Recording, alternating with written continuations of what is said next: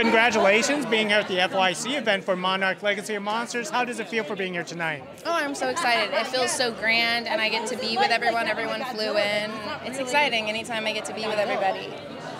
So, a lot of people really love this series. Mm-hmm. But we want to hear it from you is what do you think is the secret to success for this series? Ooh, Matt Fraction and Chris Black and Tory Tunnell and our creators of the show for sure.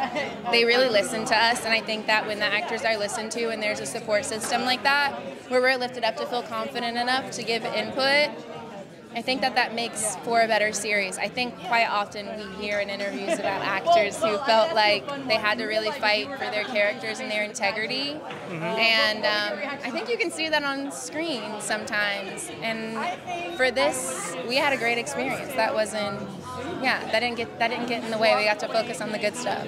I'm, I'm actually surprised the chem- the chemistry with you and your co-stars are really like it, it, it, seems very believable. Oh, good, really? Yeah. It's so funny because watching it, like I don't, I I don't know. I'm I'm like honed in on myself, critiquing myself.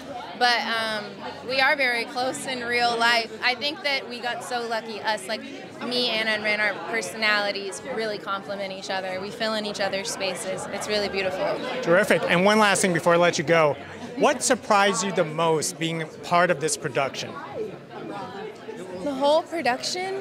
Oh my gosh. Um, um, I think what surprised me the most I think again, our creatives, our leaders listening to us. I did not expect that, especially this like giant machine that is Apple and legendary. I didn't know. I thought I would maybe get swallowed up. But we were really heard, and that really surprised me. Well, everyone's looking forward to second season, so better get prepared then. oh, I'm ready. I'm always ready. All right. Thank you very much. Appreciate yeah. Thank you. Thank you.